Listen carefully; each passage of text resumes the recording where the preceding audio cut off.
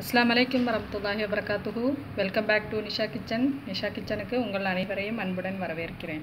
அலமதுல்லா நாம் இன்றைக்கி சில்லி சிக்கன் பொரிக்கிறது எப்படின்னு பார்க்கலாம். எல்லாருக்குமே தெரியும். இருந்தாலும் நான் எப்படி செய்வேன்னு உங்களுக்கு காமிக்க போகிறேன் அதுக்கு தேவையான பொருட்கள் அரை கிலோ சிக்கன் நல்லா மஞ்சத்தூள் போட்டு வாஷ் பண்ணி வச்சுருக்கேன். மஞ்சத்தூள் போட்டால் நல்லா கிருமி நாசினி அதனால தான் மஞ்சத்தூள் போட்டு வாஷ் பண்ணி வச்சுருக்கேன்.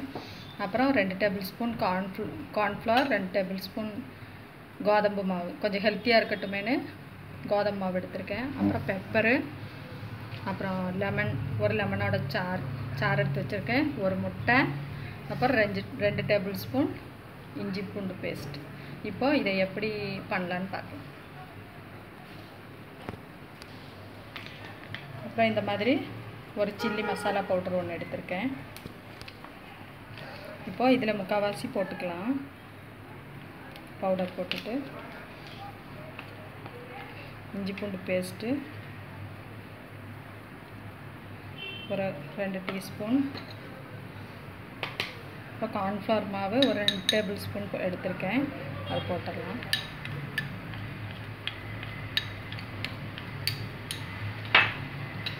இப்போ கோதம் மாவு ரெண்டு டேபிள் ஸ்பூன் அப்புறம் லெமனோட நீர் எடுத்திருக்கேன்.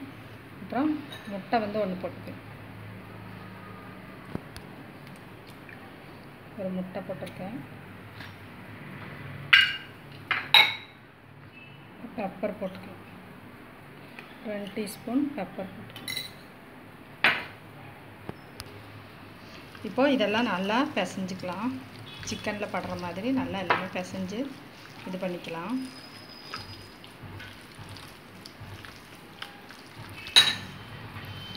இப்போ இது நல்லா பிசைஞ்சாச்சு. சிக்கனில் எல்லா பொருட்களும் சேர்ற மாதிரி பிசைஞ்சு வச்சுருக்கேன். இதை ஒரு மணி நேரம் ஃப்ரிட்ஜில் நல்லா மசாலா பிடிக்கிறதுக்காக ஒரு மணி நேரம் ஊற வைக்கலாம். பிறகு எடுத்து வறுக்கலாம். இப்போது ஒரு ஃப்ரை பேன் வச்சு எண்ணெய் ஆயில் போட்டிருக்கிறேன். நல்லா சூடாயிருச்சு. இப்போ நம்ம சிக்கனை போட்டு பொரிச்சிக்கலாம். ஃப்ரிட்ஜில் ஒரு மணி நேரம் ஃப்ரிட்ஜில் ஒரு மணி நேரம் ஊற வச்சு நான் எடுத்துருக்குறேன். இப்போ பொறிக்க போகிறேன்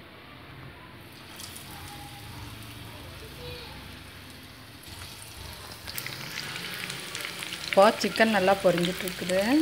சிக்கன் நல்லா சாஃப்டாக வேகணும்னா போட்ட பிறகு நல்லா சூடான எண்ணெயில் போட்டுட்டு கொஞ்சம் சிம்மில் வச்சுக்கணும்.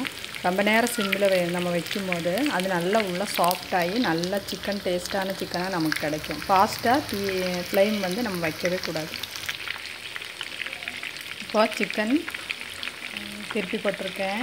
இன்னும் ஒரு அஞ்சு நிமிஷத்தில் ரெடி ஆயிரும். ஏன்னா நம்ம கோட்டிங் வந்து கொஞ்சம் அதிகமாக இருந்தால் தான் சிக்கன் டேஸ்ட்டாக தெரியும். அதுக்காக தான் கார்ன்ஃப்ளவர் அதிகமாக போடாமல் கோதம்பு மாவும் கொஞ்சம் எக்ஸ்ட்ரா போட்டிருக்கேன். அப்போ நமக்கு திக்கான ஒரு கோட்டிங் கிடைக்கும் கிடைக்கும் போது சிக்கன் இன்னும் டேஸ்ட்டாக இருக்கும்.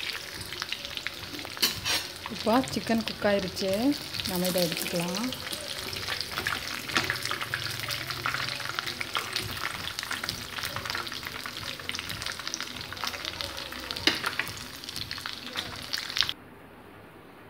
இப்போது நம்ம சிக்கன் நல்லா ரெடி ஆயிடுச்சு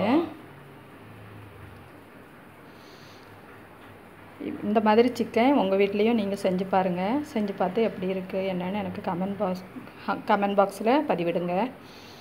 இந்த ரெசிபி உங்களுக்கு பிடிச்சிருந்ததுனா லைக் பண்ணுங்கள் ஷேர் பண்ணுங்கள் சப்ஸ்கிரைப் பண்ணுங்கள் பக்கத்தில் இருக்கிற குட்டி பெல்லைக்கனை கிளிக் பண்ணுங்கள் அப்போ நான் போடுற வீடியோஸ் எல்லாம் உங்களுக்கு உடனுக்குடனே வந்து சேரும். அலமதுல்லா அஸ்லாம் வலைக்கம் வரமத்துல்லாய் தாலா